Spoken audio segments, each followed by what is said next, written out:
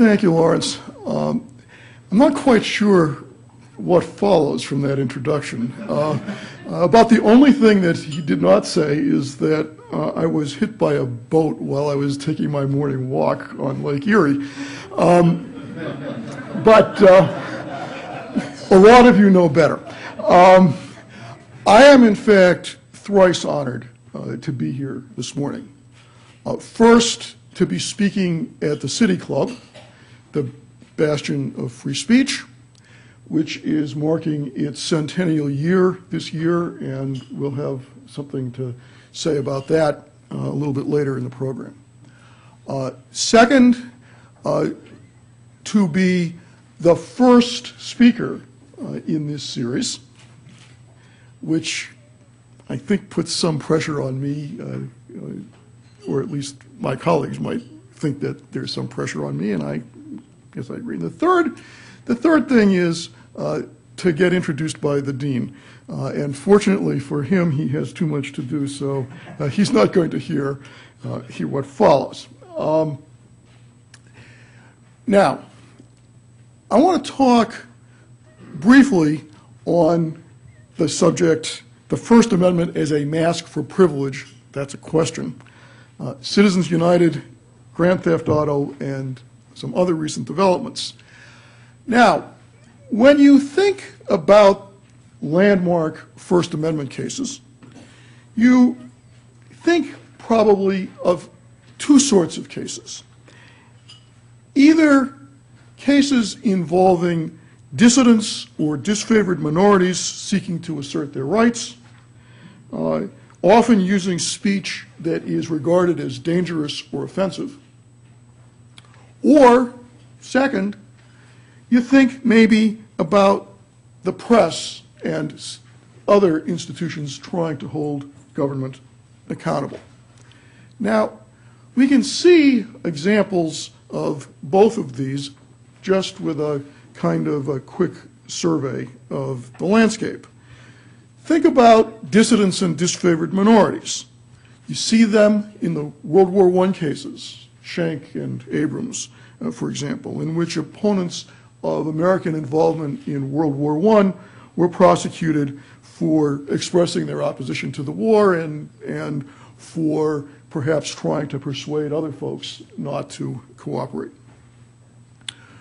We see this as well in cases from the 1920s, cases like Gitlow and Whitney, uh, involving socialists or people even further to the left. Um, we see it later on in a series of cases involving Jehovah's Witnesses, cases like Lovell against the city of Griffin, Cantwell against Connecticut, and West Virginia State Board of Education against Barnette.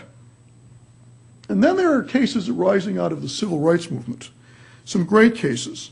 NAACP against Alabama, an important freedom of association case. Edwards against South Carolina and Cox against Louisiana.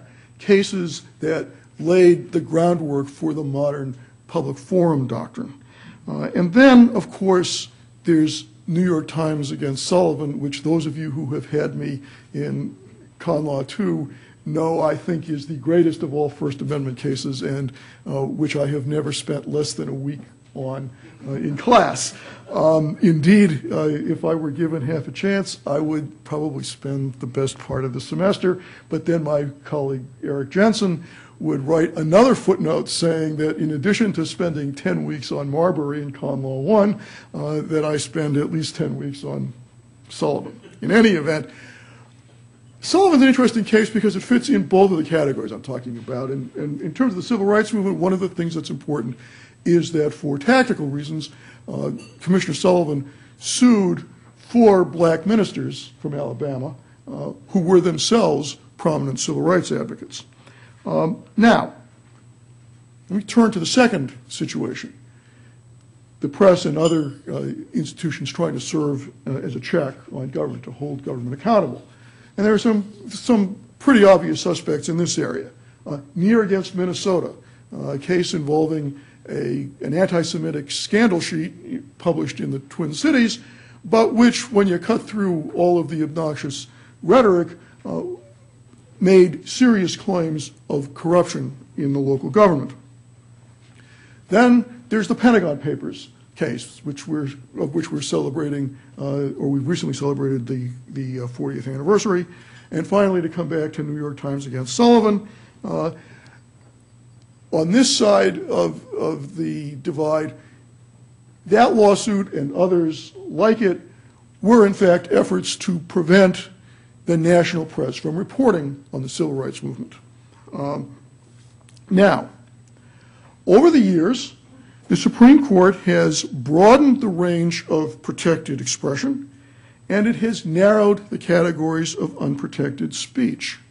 For example, all of the defendants in the World War I cases, Schenck, Abrams, and the others, they all lost their cases, um, as did the political dissidents in Gitlow and Whitney, and as late as 1951, the leaders of the Communist Party of the United States in the Dennis case. But what's striking about Dennis is that although the defendants failed in their First Amendment defense, the court recognized that the dissenting opinions of Justices Holmes and Brandeis in the earlier cases had effectively carried the day. That is, the court recognized that those earlier cases were insufficiently sensitive to First Amendment values. Now, recently, the Supreme Court has decided a number of important cases in which the First Amendment has been invoked not so much by dissidents or whistleblowers uh, as by folks who might be regarded as privileged. Citizens United is a pretty good example of that. That's a case in which the Supreme Court said that corporations have First Amendment rights, not a new conclusion, but said so in a way that suggested that corporations under the existing regime of campaign finance regulation were somehow victims of invidious discrimination. Uh, similarly, uh, and I'll come back uh, to these cases in a little more detail, there was a case uh, late uh, last term in which the court suggested that the Arizona so-called clean elections system, which effectively subsidized candidates taking public funding to a greater extent if they, if they were running against self-funded candidates uh, than if they were running against other publicly financed candidates. The court suggested that those self-funding candidates uh, were having their speech chilled. Uh, and the third of the cases from last term, uh, from the last year and a half, is a case called Sorrell against IMS Health uh, Incorporated, which struck down a, a Vermont law uh, that was a restriction on commercial speech. As I'll explain in a few minutes, there are perfectly good ways to have struck that law, but what's, what is notable about the case is that the court suggested that reg many regulations of commercial speech should receive higher scrutiny, which portends a blurring of the distinction between commercial speech and core political speech, uh, a concern that was raised as long ago as Virginia Pharmacy Board, the great landmark modern commercial speech case, uh, a concern that was raised by that noted free speech proponent, William Rehnquist. Um, now, now, I want to be careful about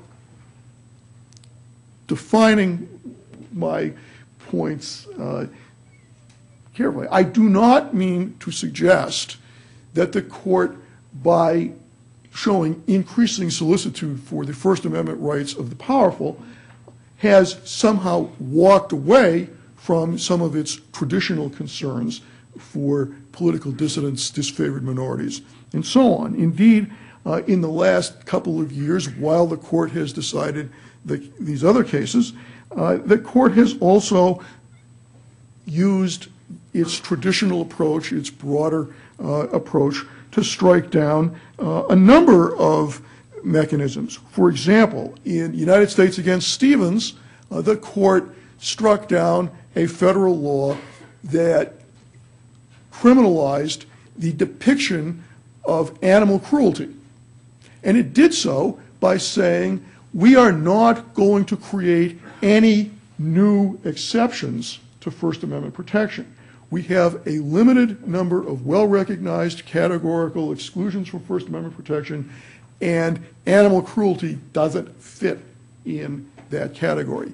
Similarly, a few months ago, uh, in Snyder against Phelps, that's the case in which the Westboro Baptist Church, the anti-gay church, uh, went out, goes out picketing the funerals of, of uh, American soldiers, uh, claiming that, or arguing that, that their deaths are signs of divine wrath because the United States has become too tolerant of homosexuality. Uh, the father of one of those uh, soldiers uh, sued the church for, among other things, intentional infliction of emotional distress, uh, won a $5 million judgment. The Supreme Court overturned that judgment, again suggesting that we should ha- we sh- that it, it supported robust kinds of First Amendment protection. And then there's there's another case uh, just from last term that gives you gives you the second part of my title, uh, and that's uh, Brown against the Entertainment Merchants Association. That's the case in which California uh, passed a statute that prohibited the dissemination of violent video games uh, to minors, um, and the court, by a lopsided majority, uh, concluded that just as we aren't going to create a new exception to First Amendment protection for depictions of animal cruelty, also concluded we're not going to create a new exception for violent video games, however we define that category. Um, now, so it's not as though the court has, has flipped its position and said, we're no longer interested in the traditional kinds of First Amendment issues uh, that, that it has addressed over, over the years. But rather, the court has begun to suggest that the, that the powerful, as well as uh, the relatively less privileged, uh, should be regarded as having strong First Amendment rights. Now, the first of these cases, the one that the dean referred to uh, in the introduction, is Citizens United against the Federal Election Commission, which struck down a federal law that prohibits corporations and labor unions from using their own general treasury funds uh, for express advocacy or electioneering communications uh, within 30 to 60 days of an election. I don't want to bore you with all the details of the, of the McCain-Feingold law or the Federal Election Campaign Act, but that, that's the basic that's the basic notion. Now, as you probably know, this case was brought by a nonprofit corporation, Citizens United, which had produced uh, a film about Hillary Clinton, who was then running for president. Uh, the film is called Hillary the Movie. And to put it kindly, the film was very critical of, of her. Um, the Citizens United folks distributed this movie um, through theaters and DVDs well outside of the, the, the uh, election window, but then they wanted to make this available uh, on video by demand, uh, and uh, they went to court seeking a, essentially a declaratory judgment that, that they would be able to do that. Now, there's some notable oddities about this case, um, not the least of which is that the Supreme Court, after hearing the first round of arguments in the case, uh, in which Citizens United said only that uh, it would be unconstitutional to apply this statute to them, the court decided sua sponte to get supplemental briefs and arguments on the question of whether the statute prohibiting the use of, of general treasury funds uh, from corporations and labor unions for political uh, purposes um, violated the First Amendment. Um, so the court reached out to create to to uh, create an issue that was not really directly raised uh, as the case came to it. Um, but I don't want to dwell too much on this point. It is a it, occupies a lot of Justice Stevens' dissent. Um, I don't want to dwell on this point too much um, because I think it's perfectly obvious that even if the court had decided the case on the narrow grounds that it came up under originally, that the court would have written an opinion effectively inviting the broader challenge, and almost certainly the court would have decided the broader challenge later on uh, in the way that it decided Citizens United. Um, but I do want to point out that the court went out of its way to avoid deciding the case on any of several narrower grounds. Um, for example, um, the court might have concluded that the statute didn't actually apply to Citizens United. Now, Justice Kennedy's majority opinion and Chief Justice Roberts' concurrence go to great lengths to explain why, in their judgment, there were no narrower grounds. On the other hand, for those of you who remember the Voting Rights Act from two terms ago, and there's at least one person in the room who does because uh, he wrote his law review note or seminar paper for me uh, on that issue. But two years ago, the Supreme Court decided a case involving the constitutionality of the preclearance provisions of the Voting Rights Act. Uh, and in order to avoid the constitutional issue uh, of whether the preclearance provision now has uh, lost its constitutional justification, the court construed the preclearance provision in a, well, a counterintuitive way. Would that be fair, Ben? Um, a way that no court had ever construed it. In fact, maybe a way that no serious commentator had ever construed it. Um, was that intellectually honest? Maybe not. But if they could do it with the Voting Rights Act, you wonder why they might not have at least been open to the possibility uh, of a narrower construction of the statute. When directly addressing the issue calls into question federal laws going back over 100 years, laws passed in part at the behest of Theodore Roosevelt, who, by the way, had won the 1904 presidential election in significant part uh, with the help of money contributed by corporations from their general treasuries. And then Roosevelt concluded maybe this wasn't such a good way to finance elections after all. Okay. Um, again, I don't want to belabor this. I just want to suggest that the court didn't have to get there. Now, now, um, the one of the narrower approaches that the court might have taken would have been to say that this movie was not, quote, express advocacy, which is one of the statutory standards. Um, indeed, the court seems to suggest that this wasn't express advocacy, but then it says that the narrative may contain more suggestions and arguments than facts, but there is little doubt that the thesis of the film is that she's unfit for the presidency, and therefore the court, the majority says um, we're going to go straight to the direct question. Now, I don't want to go through all of the opinion here. You don't have time uh, for me to do that. Um, I, I do want to suggest that the major question that this case presents is whether we should regard corporations as having exactly the same First Amendment rights as natural persons. It's clear it's been clear for 125 years at least that the Supreme Court believes that corporations do have constitutional rights But the question that Citizens United and cases like this present is whether those rights are the same rights as you and I have as individuals. Congress passed a series of laws prohibiting corporations and, as I said, labor unions, although labor unions are not part of this case, and compared to corporations these days, labor unions are, uh, are not nearly uh, as, uh, as resource-rich as, as corporations in the aggregate.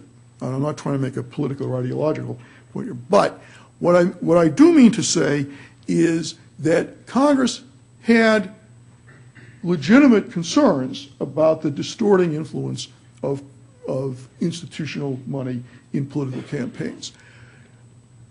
The majority opinion in Citizens United continually suggests that what we have here is a total ban on corporate political speech.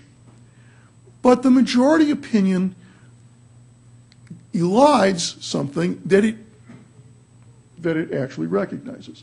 And that is, although these federal laws prohibit corporations from spending general treasury funds for political purposes, corporations and labor unions are allowed to set up political action committees which can, in fact, spend money directly for political purposes.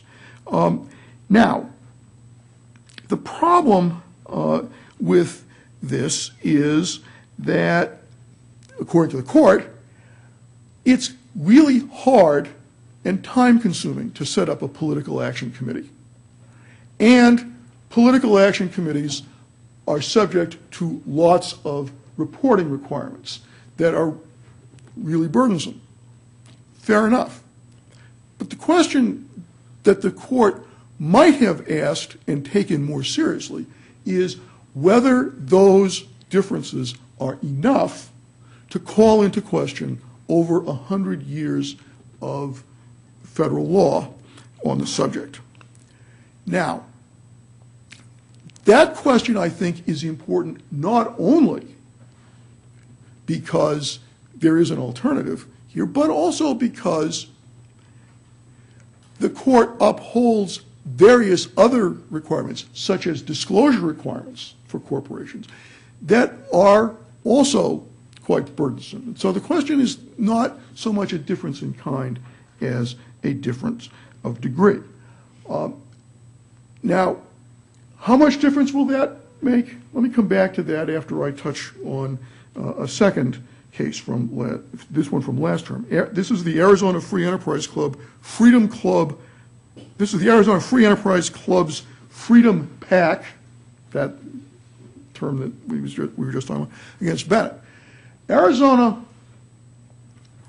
by, uh, by initiative, uh, adopted a system of public financing for most state offices uh, back in the 90s. And it did so following a massive political corruption scandal in which something like 10% of the legislature went to jail for taking, for taking money.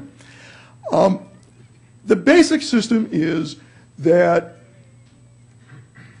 candidates are allowed to, uh, to raise private contributions, although, although they're, they're limited.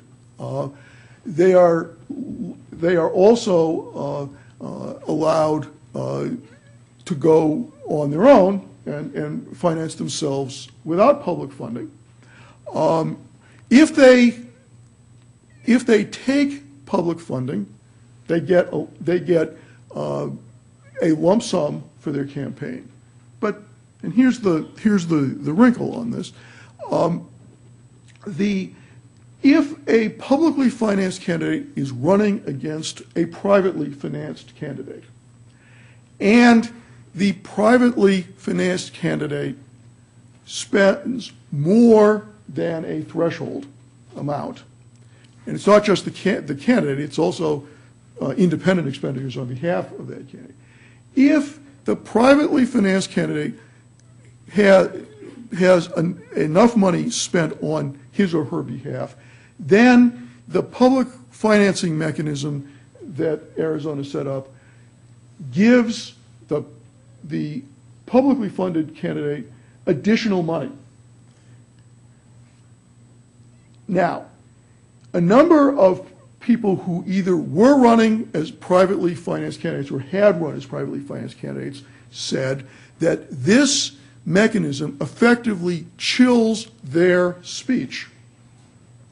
Because in order to avoid triggering the additional subsidy to the publicly financed candidate, they would spend less money on their own campaigns, and that's a net loss. Now, the Supreme Court, by the usual five to four split, uh, said that this was unconstitutional. Uh, and I think to understand this case, you have to understand a long-running debate about campaigns and campaign financing that goes back to the Watergate era. The, there were significant campaign finance reforms adopted in the 70s because of some of the campaign funding uh, abuses uncovered as a result of the Watergate scandal. Uh, you have kind of two different views here. One is that money is too pervasive in politics, and we need somehow to control the excess influence, the outsized influence of, of money in politics. And that pushes us in the direction maybe of public finance, contribution limitations, uh, disclosure requirements, things of that sort. The other approach uh, says that, as Justice Brandeis suggests in, in, in Whitney, the remedy for bad speech is more speech. In other words, we should, we should want to encourage people to spend, to say as much and to spend as much as possible, and we should have the government more or less get out of the way. The current majority in the Supreme Court is really skeptical about campaign finance regulation. You see that not just in Citizens United and in Arizona Free Enterprise Club. You see this in a whole series of other cases uh, in recent years. Uh, and the majority here says that this mechanism that Arizona has adopted effectively silences those candidates who themselves have a lot of money or who can raise a lot of money and be the beneficiaries of independent expenditures. That's a bad thing. The dissent, which was written by Justice Kagan, uh, says, hold on a second. If you look at what has actually happened in Arizona since this law went into effect, there actually has been more, more people are involved in politics, more contributions uh, are, are being made. In other words, Justice Kagan says there's no reason to think that the Arizona law has stifled political speech. Again, um, we can we can make what we want of that, but the but but again, from our purposes, the point is the court, the majority of the court here seems to be more concerned with the possible chilling effect on wealthy candidates than on the overall uh, involvement of individuals, of voters uh, in the political process. Now, I've gone on longer than I wanted to. Let me just take a minute uh, to talk about the commercial speech case and try to tie some of this stuff up. Um, Sorrell against IMS Health involved a Vermont law that basically prohibited uh, the sale of records containing prescriber identifiable information. That is to say, when your doctor writes you a prescription, the doctor has to fill out a bunch of, of forms. Um, some of that information winds up going to pharmacies and various other places, and traditionally, in many places, um, pharmaceutical companies uh, are interested in finding out information about how doctors prescribe. And they want that information in part so that they can sell more efficiently uh, to, to, uh, to doctors. Uh, you know, my dad was a family doctor who was making house calls into his 80s, and I can remember he had his house, his office at home, and I can remember detail people coming from the drug companies uh, and and uh, telling him about all of these new products. Well, um, data miners were getting hold of this sorts of this sort of information, uh, and were using that to help the the um, help the pharmaceutical companies uh, hone their pitches. Vermont says, no, no, we don't, we don't think that that's a good idea. Uh, we think that uh, this invades privacy. It may, it may increase the cost of medical care. Uh, and so uh, they passed this law. The problem with the law that they passed, however, is that it has a bunch of exceptions. And that's where the law winds up being vulnerable. Now, the exceptions were for things like healthcare research, enforcement of, of uh, healthcare regulations, uh, drug laws, things of that sort. Um, when the case got to the Supreme Court, the court decide, had less difficulty with this case than it did with some of the others. This is not the typical five to four split. It's actually a six to three split. Um, and what's notable about it is, as I said, that, that the court seems to have ratcheted up the level of protection for commercial speech. Justice Kennedy says that this regulation, this Vermont statute, uh, is both content-based and speaker-based, and therefore it should get heightened scrutiny. Well, the Supreme Court had never before suggested that commercial speech regulations should get higher scrutiny. It is possible that the court could have reached the same result using traditional commercial speech analysis, and there is a way to read part of Justice Kennedy's opinion uh, that in, in this way. But he kind of buries that while he goes on about the, the presumptive unconstitutionality of content and speaker-based regulations. But the court could simply have said that the exceptions themselves impeach the state's interest. The court has done that in a series of cases, not all of which involve commercial speech, but none of which applied what purported to be higher scrutiny. The court simply said if the government draws a line, draws an arbitrary line, the very arbitrariness of the line might be said to be constitutionally problematic. Instead, the court said we're going to higher scrutiny, which may imply something approaching strict scrutiny for loss of commercial speech regulations. And that blurs the distinction between commercial speech and core political speech. I mentioned uh, earlier that back in Virginia Pharmacy Board 35 years ago, then Justice Rehnquist, dissenting, said that the court seems to think that selling breakfast cereal or shampoo is the equivalent of campaigning for President of the United States. Maybe he was onto something. Okay? Now, let me wrap up here with just a few, a few observations. First, I don't know that the sky will fall even if you think that these decisions are all wrongheaded. I don't think the sky will fall for a number of reasons. For example, on, on the Citizens United side of the table, it seems to me that not all corporations are going to spend lots of money for political purposes because they face various constraints of their own that might lead them to limit how much they spend, number one. Number two, half the states do not prohibit corporate spending in political campaigns. I don't know. I suspect that there may be, somebody may have studied this. I don't know what the results are, but I would, I'm not sure that the political process in the states that allow corporations to spend general treasury funds for political purposes differs systematically from the the political process in the states that don't. That's an empirical question. I'd be interested in finding out. Um, I do think, however, that we might well anticipate some gamesmanship. There's always been gamesmanship in campaign financing.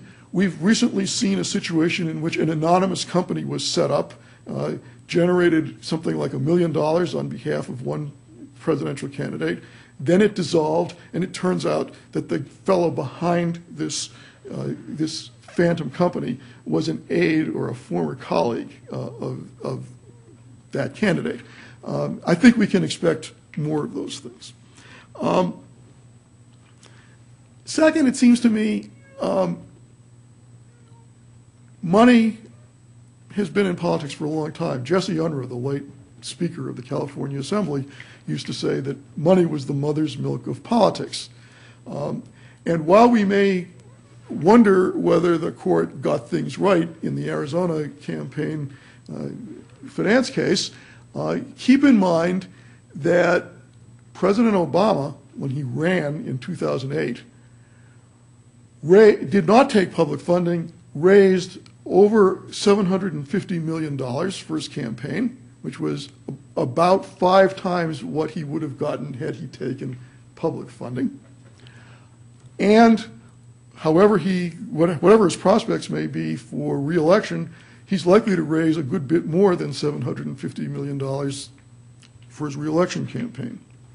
Another thing about, about the Arizona case that I suppose as a former resident of the state, I might be able to say, it may well be that this, that, that this uh, subsidy arrangement for uh, publicly funded candidates who are running against privately funded candidates reduced corruption. But anybody who has looked at the political process or at least the policy outcomes of Arizona politics in recent years may be entitled to wonder uh, whether this is a model that we want to follow. Um, let, us just review the bidding on immigration, right? The, uh, uh, the state has first adopted a law that imposes draconian sanctions on employers who hire undocumented workers, then passed another law that effectively requires police officers to, when they stop anybody, to inquire into their immigration status, and uh, that one is uh, that one has been enjoined uh, by a federal district court, and which was affirmed by the Ninth Circuit recently. But there's more to that, and Arizona has also uh, passed laws about bilingual education that effectively sent state monitors into classrooms to find out whether teachers might perish the thought actually be speaking Spanish in classes other than foreign language classes. Um, as I said, uh, you know, that's, that's my little editorial comment for, for whatever it's worth. Um, and on the commercial speech side of the table, that's something of a mixed bag. I mean, the majority in the, in the, uh, in the Vermont case said that some people actually find the kind of data mining and, and uh, uh, prescriber information useful. Some doctors like it, some patients like it. It's not just the drug companies. Now, I think, in other words, the court seems to be, these days, a little more sensitive to the interests of the rich and powerful than maybe it has been in the past. It's probably unfair, but let me close with a couple of, uh, of quotations. Um, one uh, from uh, A.J. Liebling, the great New Yorker writer, uh, who observed freedom of the press is guaranteed only to those who own one. Um, and Anatole France, the law in its majestic equality forbids the rich as well as the poor to sleep under bridges, to beg in the streets, and to steal bread. Um, so, on that note, let me wrap up and uh, open for questions. Thanks.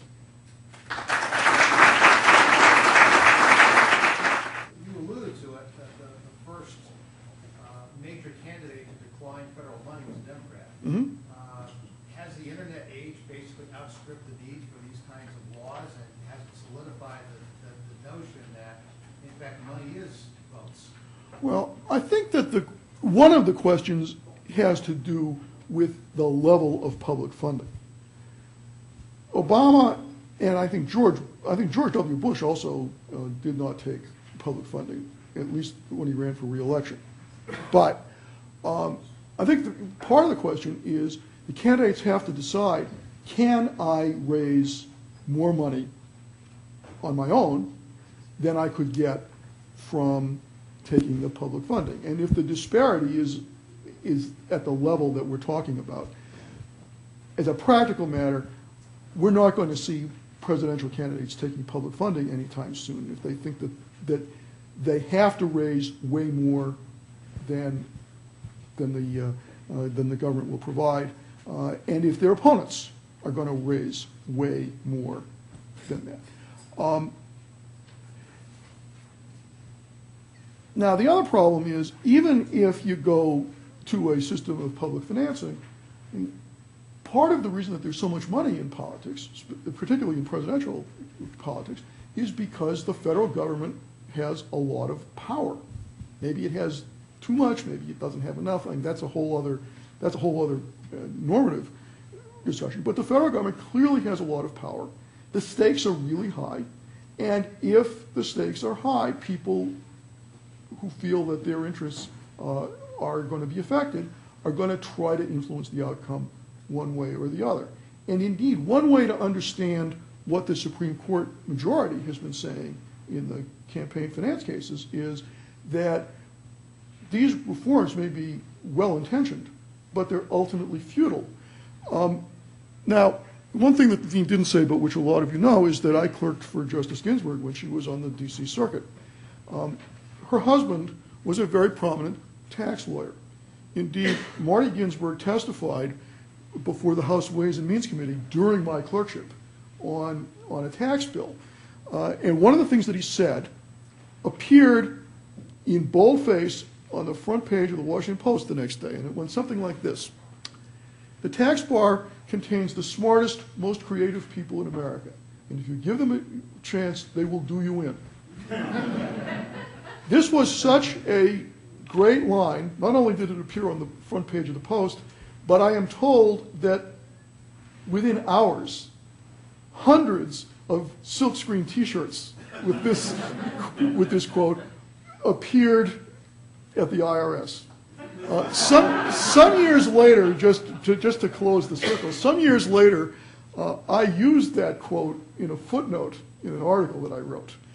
Uh, and after sitting on my reprints for a very long time because I wasn't sure quite what to do, I, at, at least at that point, I used to send my send reprints to the judge.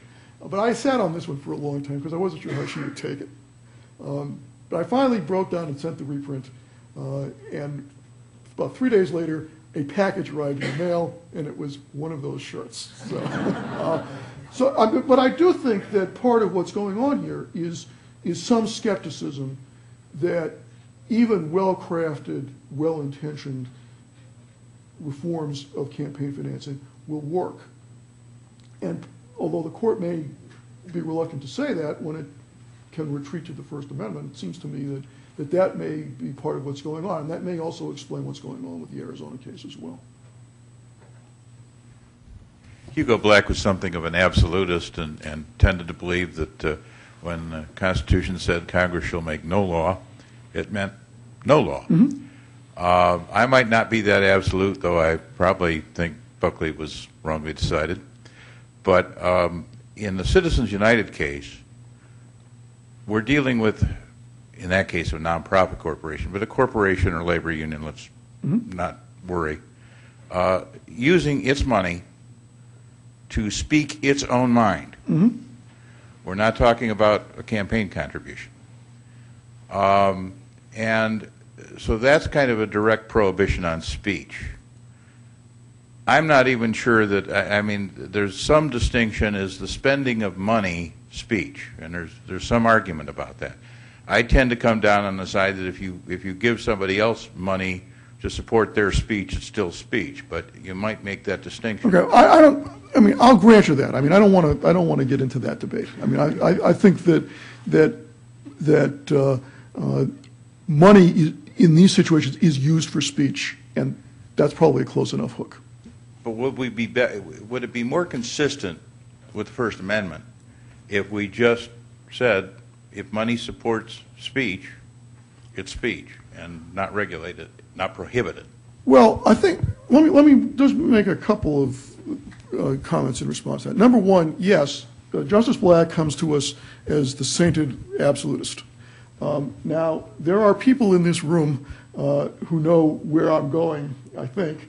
Uh, There is a wonderful case called Cohen against California. This is the, uh, this is the case in which the- this uh, fellow goes down to the LA County uh, courthouse to testify in a, in a civil case, and he's carrying a jacket, this is the height of the Vietnam War, uh, and he's carrying a jacket that somebody, one of his friends has written on the back, "fuck the draft." Um, And um, he gets, this fellow gets arrested. Uh, Case goes to the Supreme Court, um, and the opinion upholding this fellow's First Amendment defense is written by John Marshall Harlan II, the most conservative justice on the court. And if you're, uh, if you're into uh, uh, lit crit theory, uh, I commend Justice Harlan's opinion to you, uh, particularly the line that says, "One man's vulgarity is another man's lyric." Uh, Justice Black dissented. Indeed, Justice Black had what um, what uh, Fred Schauer, a great First Amendment scholar who's now at the University of Virginia, used to call the Freddie Patek theory of the First Amendment. Those of you who don't know, Freddie Patek was a little fire plug. He was about five foot four. Uh, he played shortstop for the Pittsburgh Pirates when they were good, and the Kansas City Royals. Uh, he was a tough little guy, a really tough little guy. You wouldn't want to tangle with him. Well, that was Justice Black's theory of the First Amendment. He had a very precise sense of what was speech, and with respect to that, he was an absolutist. But a lot of things that you and I might think of as speech, he didn't regard as speech at all. Now, the question I raise about Citizens United is not are corporations should corporations be allowed to spend money? The question is whether corporations should have precisely the same First Amendment rights to spend money as you and I do, because they're not natural persons. The laws, as they existed before Citizens United, said if a corporation or a labor union wants to spend money, it, they can do so, but they have to set up a political action committee. Lots of reasons to wonder why that's not an acceptable alternative. I don't mean to suggest that there's no argument for the court's position. I do think that there is a principled argument for the position the court took. My only point is that I don't think that that was the only principled position that you could take in the case or with respect to that issue. Uh, And I don't think, given the differences between corporations, for-profit, nonprofit, on the, and natural persons, that the same rules should apply in precisely the same way. We do, in fact, put restrictions on what nonprofit organizations can do politically. If you want, if you're a nonprofit and you want to engage in political activity, you cannot be a tax exempt 501c3. You can set up, uh, you can set yourself up as a 501c4 that does allow you to engage in political activities. Just as we distinguish between types of corporations, it seems to me we might be prepared to distinguish between corporations and natural persons with respect to how they engage or participate in the political process. It's not a question of whether, but how. Yeah, Steve. Well, these cases are typically decided by the Supreme Court, and while these topics warrant Supreme Court attention, there is, of course, no assurance that any case makes its way all the way to the Supreme Court. Has it mattered, and does it matter, uh, through which Circuit Court of Appeals these cases come? And is there any significance in this field generally to the varying circuits and their views? I'm not sure that it matters that much. I mean, it's true that the Arizona case came out of the Ninth Circuit, and, and people like to joke about, well, it's the Ninth Circuit, they're obviously wrong. They've had this long track record of uh, faring badly in the Supreme Court, shall we say. Um, But, you know, if you want to look at a circuit that's had a hard time in the Supreme Court lately, look at the Sixth. Uh, There was a day last, th- this past year, where the court decided two cases, both from the Sixth Circuit. Um, The votes were 17 one way and zero the other. The 17 were to reverse in both cases, and the only reason it wasn't 18 was because Justice Kagan had recused. Um, But another reason why, I'm not sure how much this matters, uh, which circuit we're talking about, is that some of these cases actually don't come through the federal courts at all. Some of them come, I mean, it, it turns out that the cases we're talking about today came up through, uh, through the federal courts. And, and, and Citizens United had to come through the federal courts, and it had to come uh, up from the, uh, from the District of Columbia because the statute says that certain kinds of cases must be filed in federal court in the District of Columbia. Uh, It may be that which lower court, and, and by the way, Citizens United also came up um, uh, from, I think, from a three-judge court where there's an appeal as of right to the Supreme Court, so it's not a question of, of discretion, really. Um, But, uh, you know, it, it seems to me that, that which court had the case may influence the chances that the court, the Supreme Court will take review if it has discretion. But I think we're talking about a court that cares a lot about these issues. Uh, I think everybody on the court cares a lot about these issues, despite the disagreements among the justices about how to draw lines. Aren't you somewhat encouraged, though, about, with Phelps, with the decision in Phelps and the animal case, that the court is at least not, Yeah, well, uh, as I said at the outset, I mean, I'm, I'm making, I hope, a narrow point. Um, Maybe some of my recent students will suggest that this just reflects my instinct for the capillary, but, um, but I do mean to make a fairly narrow point. Uh, I agree. I said it, I said early on. The court is, on traditional sorts of First Amendment issues, the court seems to be quite supportive of First Amendment claims. Snyder, Phelps, even the, the video game case, uh, they're not very surprising, given current doctrine, and if you look at them, they are all lopsided. Um, the video game case is seven to two. Um, The opinion, the lead opinion is written by Justice Scalia. One of the dissents was by Justice Thomas. Uh, Those of you who've read Scalia opinions in the past may find it interesting to, you, you ought to go read a couple of the footnotes in the, in the video game case eh, eh, in which Scalia takes out after Thomas uh, for what he regards as a completely, uh, completely uh, improvised uh, theory of the First Amendment. Um, Snyder against Phelps is an, is effectively an eight to one decision. Uh, Justice Breyer concurred on very, but, but very narrowly. Uh, Justice Alito uh, is alone in dissent. Similarly, in the, in the Crush video case, the, the, the animal cruelty case, Alito uh, dissents alone. Um, So if you're just counting, in general, on the kinds of First Amendment issues that we might wrap up under, quote, traditional uh, First Amendment uh, doctrine, yeah, this is a court that is, that is pretty solid. It's also a court, though, that has a number, that now has a majority of justices who want to extend that protection to places, that strong protection, to places where it has not traditionally gone.